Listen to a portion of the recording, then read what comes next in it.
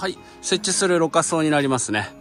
えー、1台だけ設置するんですけども、少しね、タイプの違うやつを持ってきて、まあ、どちらをね、設置するか考えたいと思いますので、そこら辺ね、あの、使い分けをしていきたいと思います。はい、工具とかもね、いろいろ準備しなきゃいけないから大変なんですよね。えー、ちょっとまあ、型枠組むから、ビス類ね。丸のこ。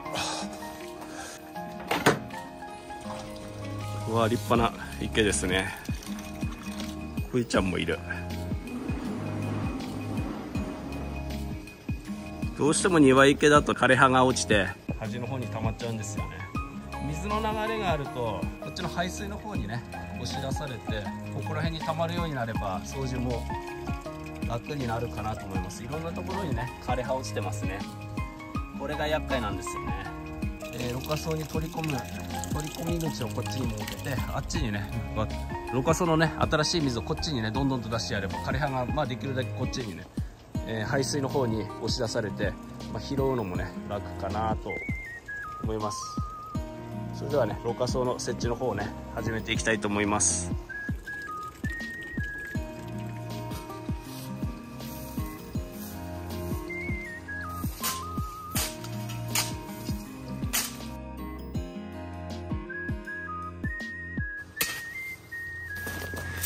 ここにろ過槽を置く場所ですね。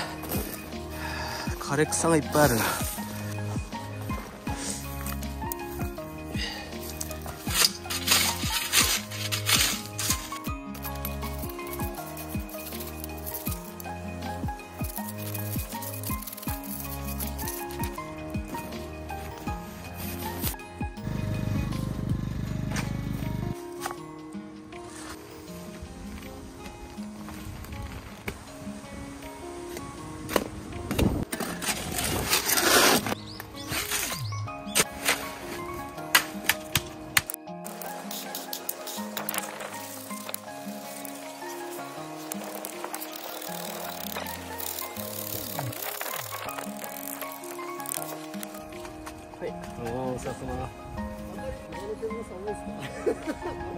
寒いですけど雪なくていいですね。はい。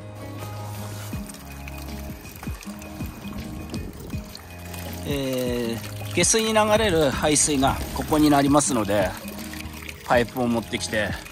まあちょっと今まであったやつがね30ミリの細い排水で湧き水のね汚水を、えー、流してたので流れるのに心もとないのでね、えー、排水のやつをねえー、太くして、え近くまで湧き水のね近くまで持ってってあとろ過槽のね近くまでこの65を持ってって65でね一気に下水の方にね流れるようにね、えー、作ってみたいと思います。ここにねこうやって出るような形になりますね。こうやってパイプをね這わせて地面の上にねパイプ浮いてたらみっともないのでね庭の景観台無しになっちゃいますのでね。ね、えー、2 0センチぐらい掘ってねそこに埋めていきたいと思います。もちろん傾斜をつけてやる必要あるのでね汚水というものはね、えー、上から下に流れていきますのでろ過槽を設置するところはね、えー、多少ね池よりは高いところにね設置してあげる必要がありますね。こちらねコンクリート。コンクリートね打ってねえー、雪もねちらほら舞ってね。氷点下下回ると思うのでね、えー、どうしても 水を使うのでその水が凍ってしまうとね、え、ひび割れの原因とかね、え強度不足になったりとかするので特段人が歩い人が乗ったり車が乗ったりするわけじゃないのでそんな強度とかはね特段必要なわけじゃないんですけどもひびが入らないことにはね越したことないのでね高温のためね養生して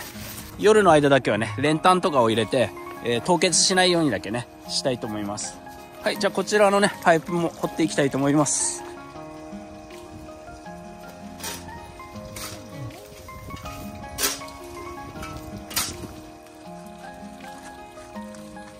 午前中天気良かったんですけどね、えー、だいぶ吹雪いてきましたね。雪も積もってきました。こんなこともあろうかとね。これ持ってきましたね。コンクリートが凍結しないようにね、えー、練炭をね炊きたいと思います。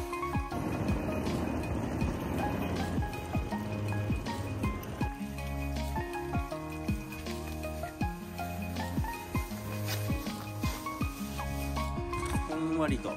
たかい。表面をこれから慣らしていきます。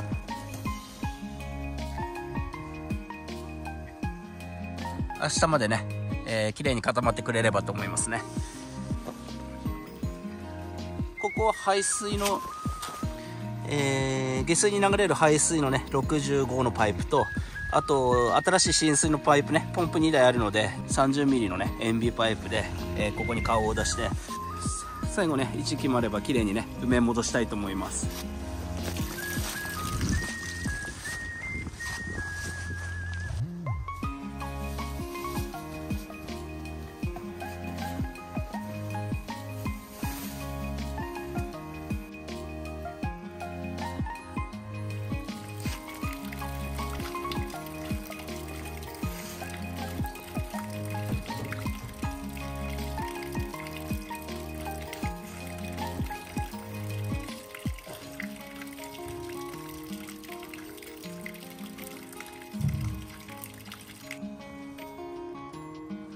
はい収まりましたね。こちらにポンプを置く予定なので、えー、コンクリートをねこちら開けてますね、は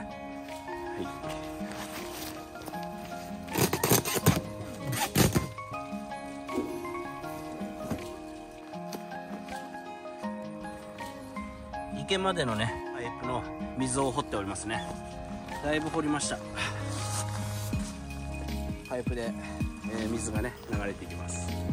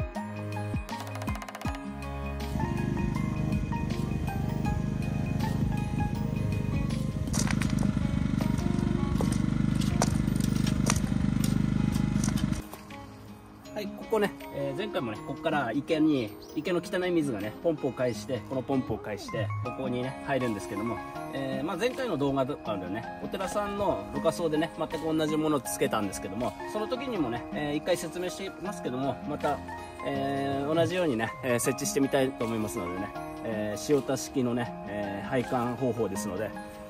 当店のね、ろ過スを買っていただけましたらね、同じようにね、真似していただいてね、つけてもらってね、結構ですので、えー、ぜひね、ろ過層の配管とかね、参考になったと思いましたら、当店の方からね、購入のほどね、よろしくお願いいたします。をつけて、こうですね。ろ過層の圧力のかかる方ですね。えポンプでね、送り出す方とか、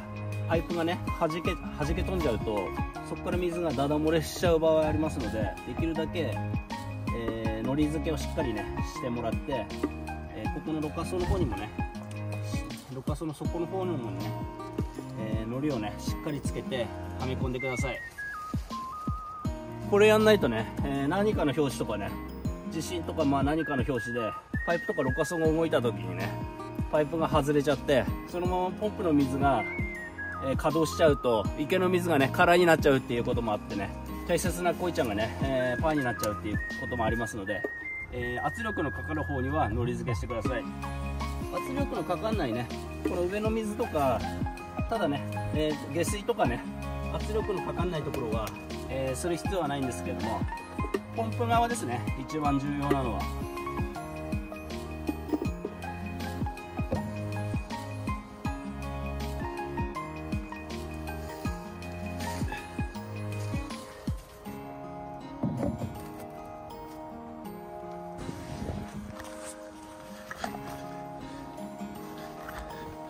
はい、こんな感じで、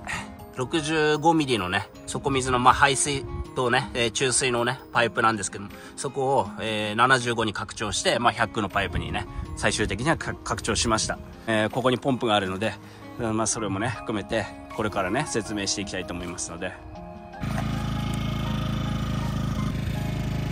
はい、池の近くにあってね、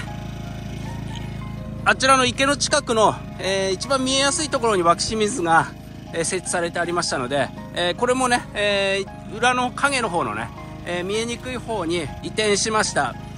ここからまあ池に戻るパイプは地面を掘ってね、え池の方に戻るようにしていきたいと思いますね。8メーーくらいの長さですね。傾斜がついてるので、え素直にね、池の方に流れていくと思いますので、はい、今はね、えー、こっちのろ過層の排水の方のパイプのね、配管をしております。チーズをつけて、えー、湧き清水のね、汚水の排水、これ同時に設置のね、えー、進行をしていきたいと思いますのでね、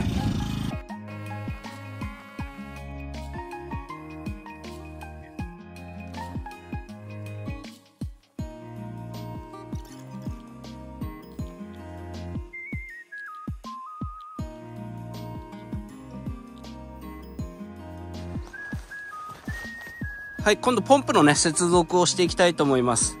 えー、こちらね、えー、30のパイプで2本来ているのが池の方からね、1個は湧き清水で、えー、もう1本はね、えー、こっちの FRP ろ過層のポンプの方に、えー、繋ぎたいと思います。こちらの機械はね、トルネードキャッチャーって言って、庭池の枯葉とかね、大きなゴミとかを、えー、古式みたいなもんですね。一定に枯葉とかゴミが溜まったら掃除してあげる必要があります。で最初奥に置こうかなと思ったんですけどもそれやっぱ作業性を考えて手前に枯葉とか取ったりとかする作業の方が、えー、しやすいので、えー、手前に出して、えー、一方のポンプの方はとりあえずね、えー、稼働さえしてれば大丈夫ですので、奥の方に設置することにしました。現場でその都度考えながら、こうした方が楽じゃないかとかね、水が流れる動線とかもできるだけ近く、パイプとかを無駄にね、えー、遠回しに配管とかね、そういうふうなことがないように、できるだけ考えて、近場近場で持っていくっていうのがね、基本ですので、えー、技術ですのでね、こんな感じで。でポンプを置いたら、ちゃんと蓋とかもね、できるかとか、大丈夫だな。こっちは後ろに持っていく必要あるな。はい、じゃあここの配管もね、していきたいと思います。バルブソケットですね。まあ、シールテープとかね、えのりとかね、あるので、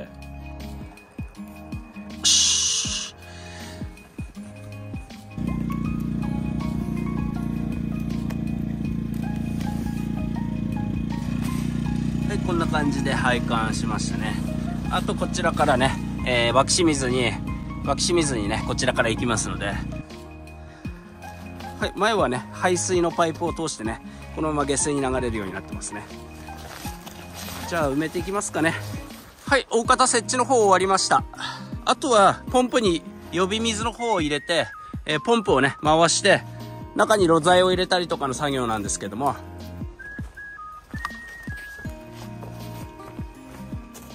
こちらのパイプ、えー、少しね、長めに取ってまして、池の水をポンプで吸い上げて、ここのパイプをフレキシブルにすることによって、えー、この水でろ過層を洗ったりとか、えー、周りの枯葉とか落ち葉をね周りを掃除したりとかもできますのでろ過層を掃除するようにポンプを買わなくてもこのポンプを介して掃除できるようにここをねあえてフレキシブルにしております。でこんな感じで。でポンプにね一旦水を入れてみます。はい池の水が回ってポンプのね水がここに入ってましたここに刺してね刺し刺すことによって中に水が溜まります。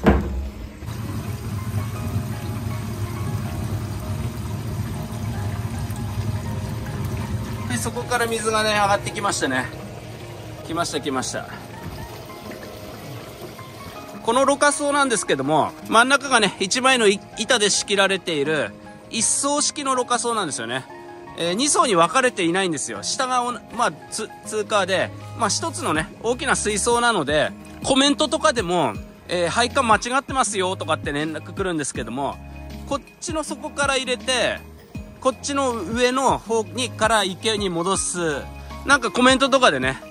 入れる方は逆ですよとかね、いうコメント来るんですけども、こっちから入れる、入れたい気持ちもわかるんですよね。遠く、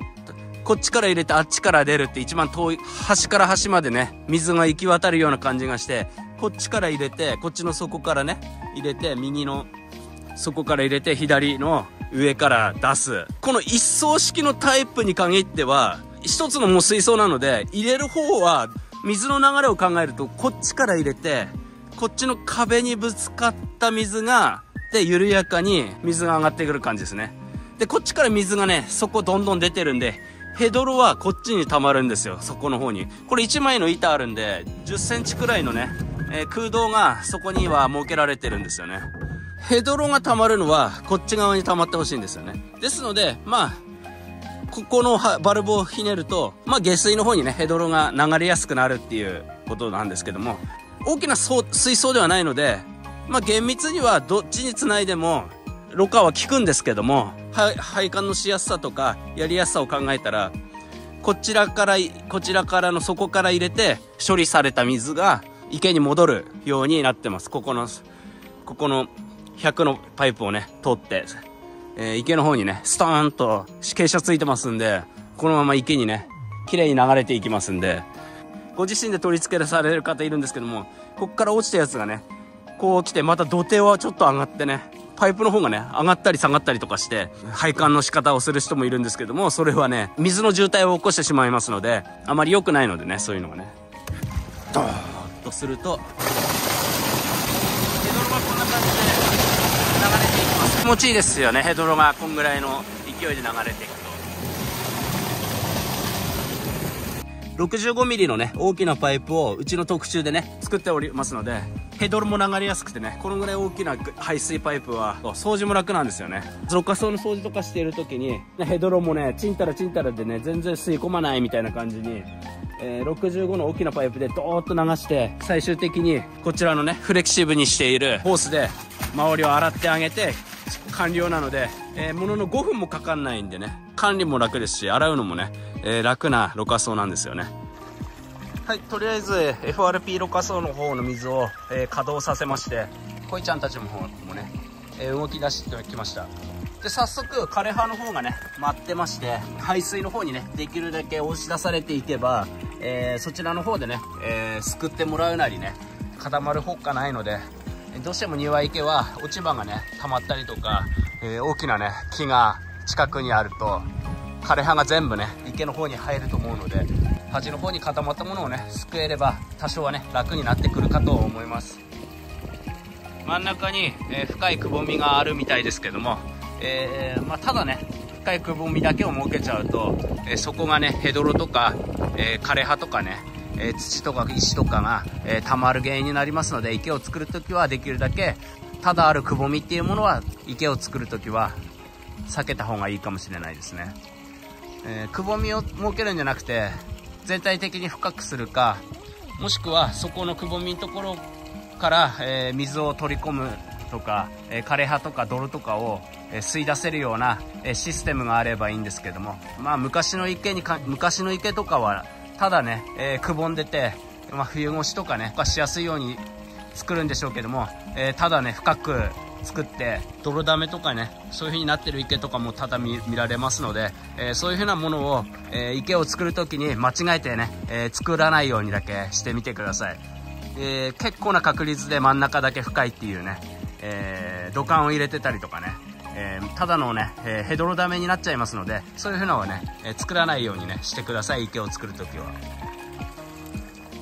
庭池でしたらね、えー、最初から池を作るっていう場合でしたら枯葉をどうやって取ったりとかね。あと石とかね、ま、庭石です。小石とかがねよくこう落ちて落ちてるので取らなくていい。掃除しや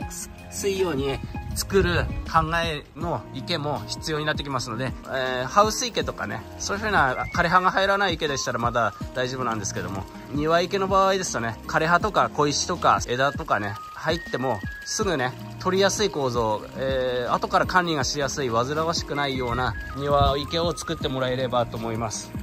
えー、今回はね、昔からね、既存の池に、後から湧き水とかね、つけられてますけども、まあ、生物ろ過がね、えー、なかったので、えー、FRP ろ過層を、えあそこに設置させてもらいました。これで水とかはね、綺麗になるんですけども、まあ、どうしても庭池になると、大きな木がね、近くにあったりとか、落葉樹が多いと、秋になると枯葉が池に入ってしまうという、その枯葉も腐ってしまうとね、ヘドロとかになったりとか、まあ、蓄積していくとね、すごい分厚い落ち葉の層が出来上がりますので、もし庭池を作りたいとかね、そういうふうな対策も考えてもらって作るようにしてください。えー、なかなか落ち葉を拾ったりね、煩わしい作業になってきますので、えー、もう初めから落ち葉がね、一箇所に溜まるとか、そういうふうなものを本抜きすると、全部落ち葉とかね、枯葉が流れていくっていう、えー、下水の方にね、流れていくっていうシステムも作れますので、昔はその点ね、えー、あまり考えられてなくね作ってる池が、えー、多いですので今となればねそういうふうな考えとか技術とかもありますので庭池とかを作ってみたいっていう方いましたらね、えー、当店にねご相談ください。それではねまたさようなら。